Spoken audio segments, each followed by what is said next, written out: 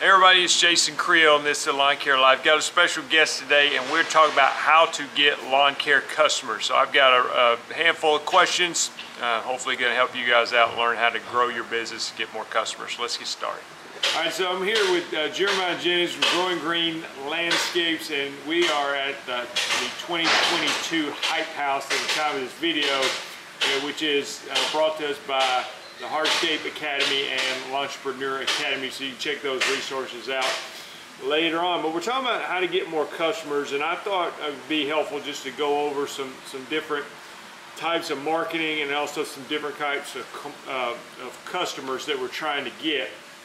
So Jeremiah, when um, your experience going after commercial accounts, do you have commercial accounts and how did you get them and, and what would you say to trying to get more commercial accounts?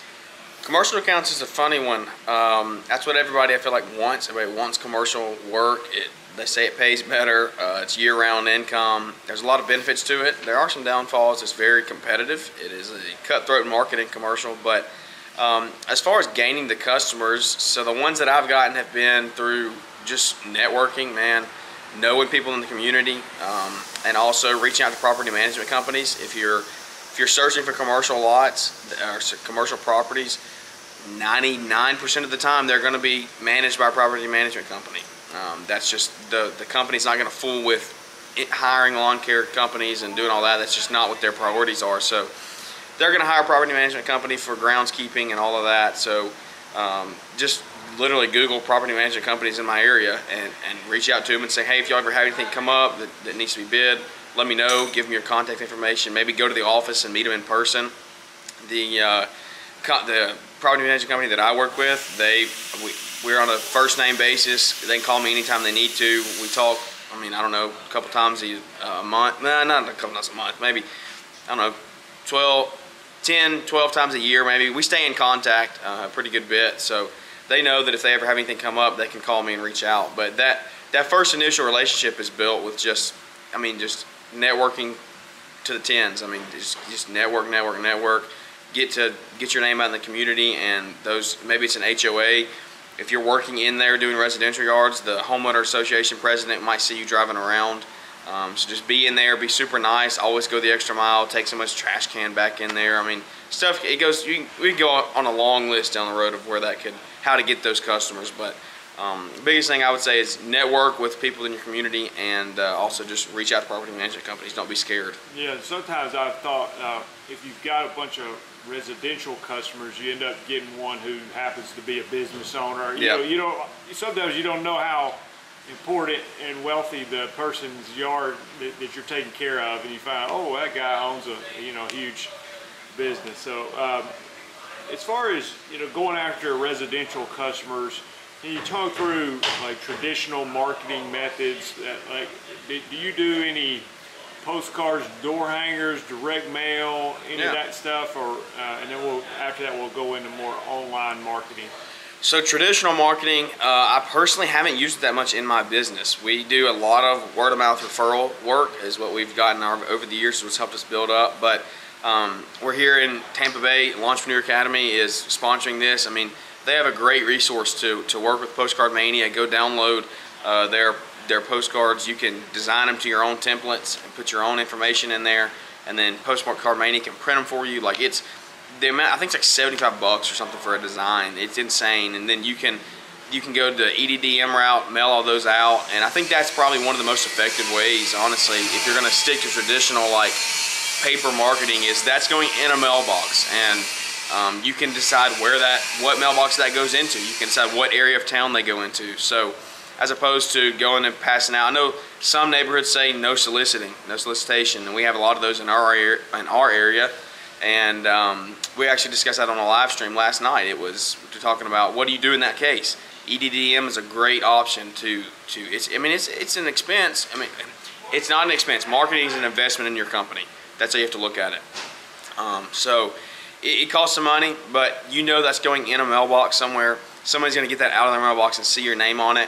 Uh, I don't. I honestly don't know the numbers of the return, what the rate is on that, but I know it's effective because uh, people do it, and I hear a lot of testimonials about it. So door hangers are effective, yard signs are effective. Uh, if you're chemical lawn treating, I know a lot of people put out yard signs and just see your name in the neighborhood. That's what Jason does. Put them, puts them out, and everybody driving up and down the road sees his name there, and it's it's just a branding, branding, branding, senior name in the community, and uh, that's traditional marketing is just there's a lot of ins and outs to it, a lot of different ways to go about it, but that's what I would say is. A, a, EDDM is a great, great option. And if you don't have the money for that, go go to Staples and pass out some, print some flyers for 10 or 15 bucks on a sheet of paper, create a design on uh, online somewhere, and then just go go pass them out. Put them on uh, in a flag or put them on somebody's door, and they're still going to see that stuff. It just might not be as effective, but if you, it's a good it's a good way to get into it because EDDM it costs money.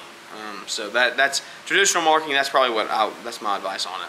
All right, so if you're going online, we're talking about website, social media, things like that. So what have, what have you done in, in those areas that's been effective? Are you on Facebook, Instagram, YouTube? I, I you know, I know you're, you're growing a social media audience, but how does Yeah. it help you in your own local business? So local business, uh, you have to know your audience. You have to know what platform your audience is going to be on, what your target audience is. My target audience is not going to be on Instagram. My target customer, I mean, uh, it's not going to be on Instagram. Now, growing the social media business, my target audience is on Instagram and TikTok and all those platforms. But if I want people to sign me up for a lawn care service, it's going to be off Facebook. That's where we're going to be marketing. So we do a lot of Facebook uh, ads, uh, specific targeted ads.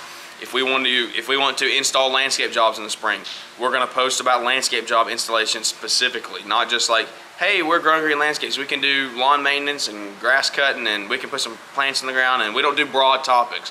We narrow it down, and we say, this is what we want for the spring. And we did that last spring. We did that. We posted, we did ran some Facebook ads for a few days and said, uh, we want to, we are targeting landscape installs. We put some before and after work of what one we had just done. And within uh, know, 24, 48 hours, we had two jobs uh, signed up off of that one post. So it's not going to happen every single time, but Facebook is a great option there because the most of the time your ideal customer is going to be on Facebook looking in the what's happening groups or you, you post an ad, it's going to come up in their news feed. You can uh, geofence on Facebook, I'm pretty sure. You can kind of target your area of where you want it to go. Uh, you can target age ranges and all that. So there's a lot of analytics involved with it, but uh, Facebook is where I go for there. Instagram, I don't really post much business, like actual landscape business stuff on there. We post social media stuff. We post podcast stuff on there. We post uh, pictures of the work. I mean, just like the rig and what's happening during the day. But we don't try to gain new customers off Instagram. Uh, I know you're a big you're a big advocate for websites. Websites are huge.